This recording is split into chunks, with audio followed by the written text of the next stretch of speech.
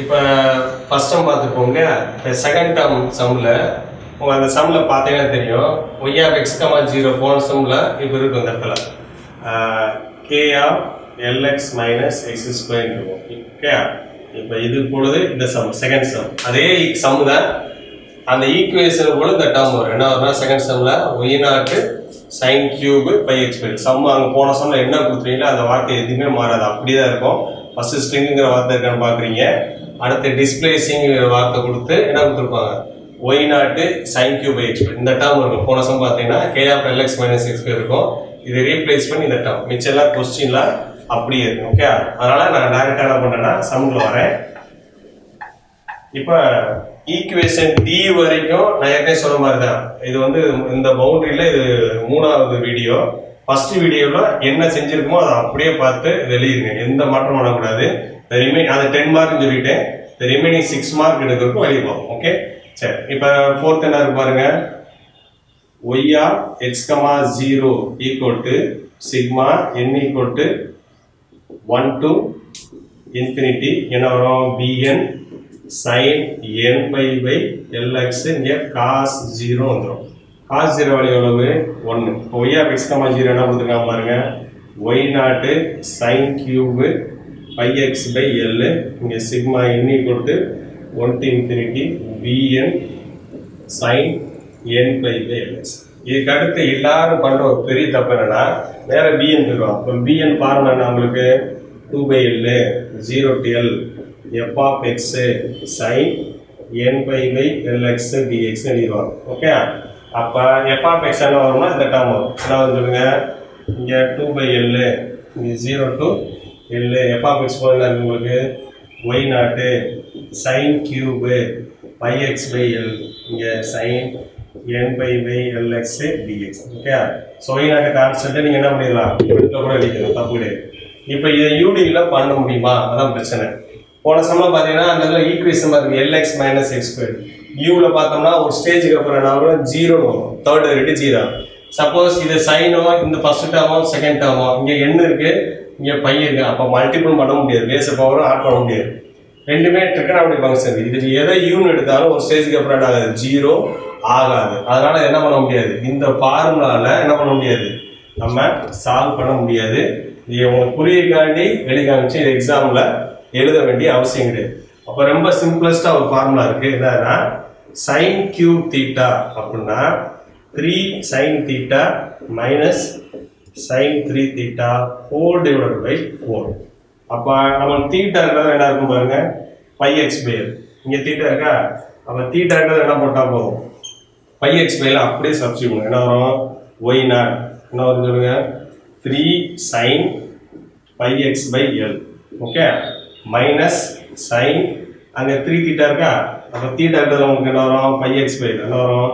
Three pi X by L okay whole divide by எவ்வளவு?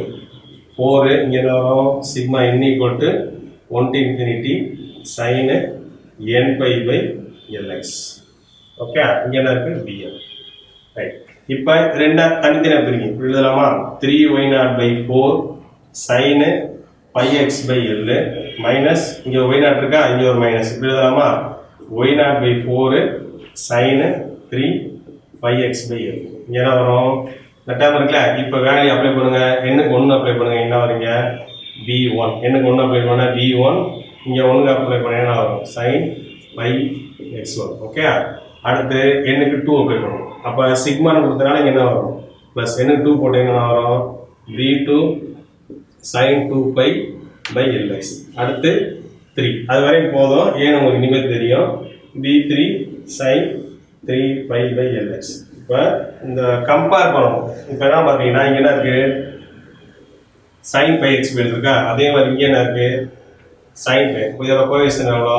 B one இங்கே என்ன இருக்குது த்ரீ ஒய் நாட். அப்போ பி ஒன் ஈக்குவல் டு வரும்?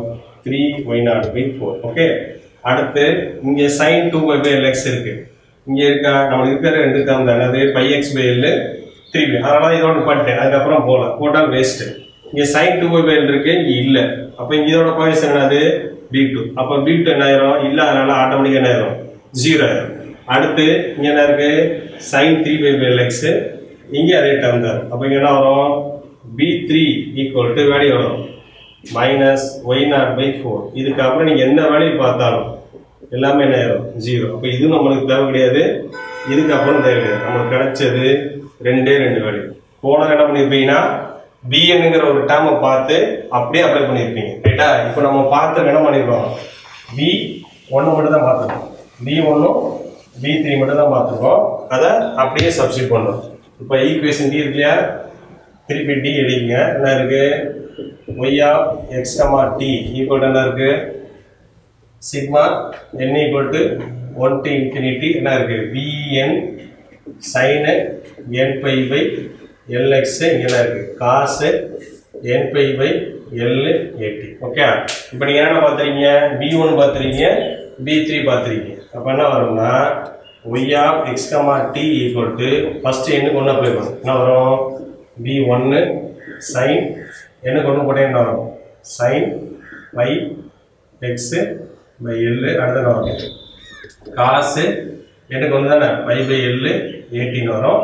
ப்ளஸ் அடுத்து நீங்கள் எது அப்ளை பண்ணால் போதும் பி ஒன்று அடுத்த அது பி த்ரீ அப்போ எனக்கு த்ரீ மட்டும் போட்டால் போதும். அப்போ வரீங்க B three sine three pi by LX cos three pi by L AT அப்போ நீங்கள் என்ன இருக்குது பி ஒன்றுக்கும் பி த்ரீக்கும் சப்ஸ்டியூட் பண்ண போதும் பி ஒன்று எவ்வளோ three Y naught by four sine pi X by L cos pi by L AT plus B three எவ்வளோ மைனஸ் இருக்கியா இல்லையா அப்போ இதை மாற்றிங்க என்ன வரும்? Minus Y naught by four sine three pi by LX cos three pi by L AT என்னது?